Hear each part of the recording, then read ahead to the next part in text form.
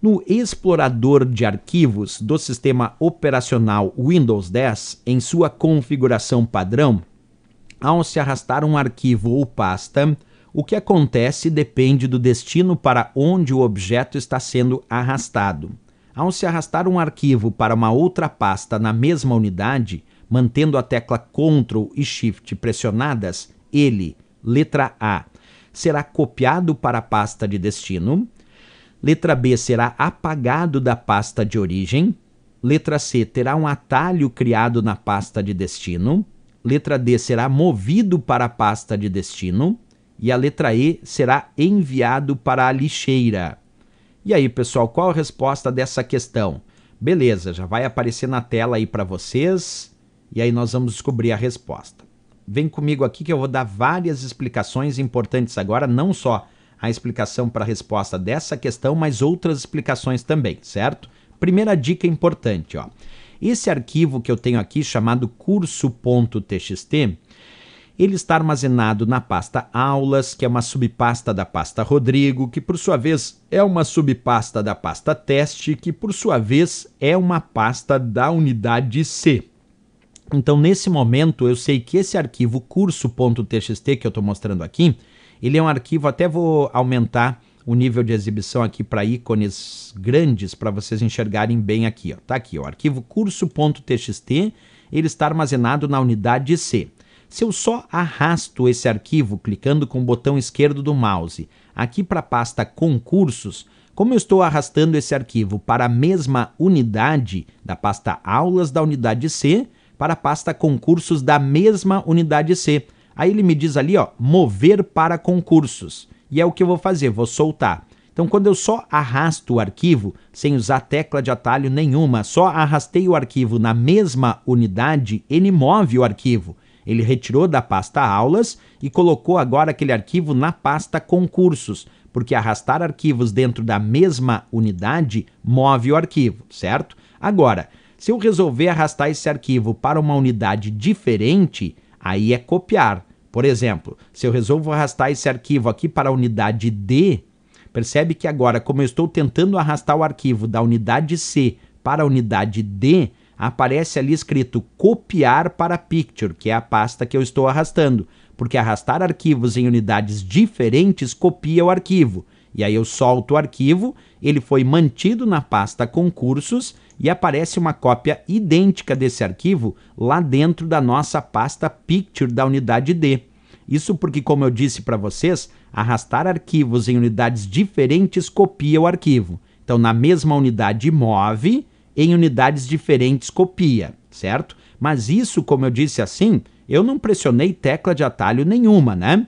Então, novamente vou clicar aqui na pasta uh, aulas, que é o que a gente está estudando, Vou pegar esse arquivo chamado cursohoje.docx e primeiro eu vou arrastar esse arquivo para a pasta concursos da mesma unidade C. A princípio está escrito mover, né? Mas se eu pressionar a tecla CTRL do teclado, se eu pressionar a tecla CTRL, percebe que aquele mover mudou, mudou para copiar. Isso porque arrastar arquivos mantendo a tecla CTRL do teclado pressionada copia o arquivo. Ó. A princípio está escrito mover, porque eu estou arrastando na mesma unidade. Mas quando eu arrasto mantendo a tecla Ctrl pressionada, aí ele diz que vai copiar o arquivo. Beleza, então vou soltar o arquivo e percebi que o arquivo foi mantido na pasta aulas e foi criada uma cópia idêntica para esse arquivo na pasta cursos, certo? Porque arrastar mantendo a tecla Ctrl pressionada copia o arquivo, não importa se é na mesma unidade ou unidade diferente. Pois bem, se eu pegar agora esse arquivo chamado cursohoje.docx, aqui da unidade C, e arrastar lá para aquela pasta picture da unidade D, a princípio está escrito copiar, né? Porque é unidade diferente, ó. Estou arrastando o arquivo em unidades diferentes, está escrito copiar.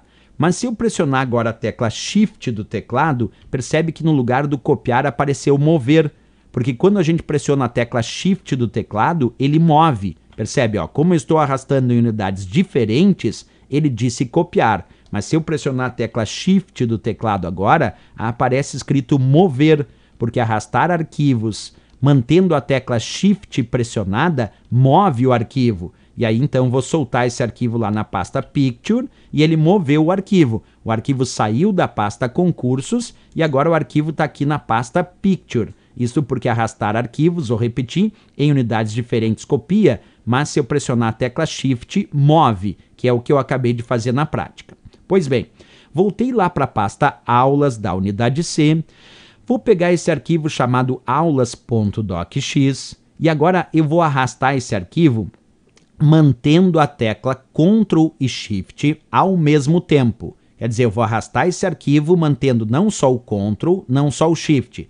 Vou arrastar, mantendo a tecla Ctrl e Shift pressionada ao mesmo tempo, as duas, ó. Quando eu pressiono Ctrl e Shift à medida que eu arrasto esse arquivo, apareceu escrito ali assim, ó, criar link em concursos. Percebe? Eu estou arrastando da pasta aulas da unidade C para a pasta concursos da mesma unidade C mas eu estou pressionando a tecla Ctrl e Shift do teclado. E aí ele disse criar, criar link em concursos. E aí eu solto esse arquivo e vou lá na pasta concursos perceber que ele acabou de criar um atalho. Olha lá, diz aulas.docx atalho, porque arrastar um arquivo mantendo a tecla Ctrl e Shift pressionada simultaneamente, quer dizer, o Ctrl e o Shift pressionados simultaneamente enquanto eu arrasto, ele cria um atalho para aquele arquivo no destino. Uma outra forma de criar atalho é arrastar um arquivo, como eu vou fazer agora com o arquivo curso, arrastando para a pasta aulas, mantendo pressionado a tecla Alt. Observa, se eu arrastar esse arquivo mantendo pressionado a tecla Alt do teclado, ele também cria um atalho para esse arquivo no destino. Olha lá, ó, pressionei o Alt, soltei e lá na pasta aulas agora também tem um atalho para aquele arquivo no destino.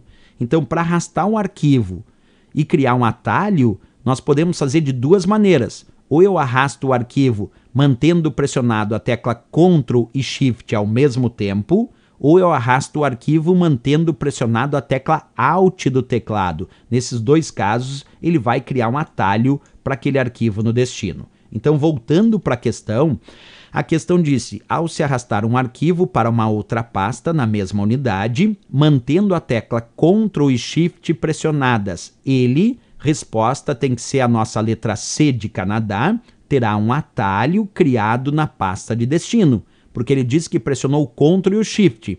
Se fosse só o Ctrl, seria copiar. Se fosse só o Shift, seria mover. Mas como era o Ctrl e o Shift ao mesmo tempo, ele cria um atalho para aquele arquivo no destino, né?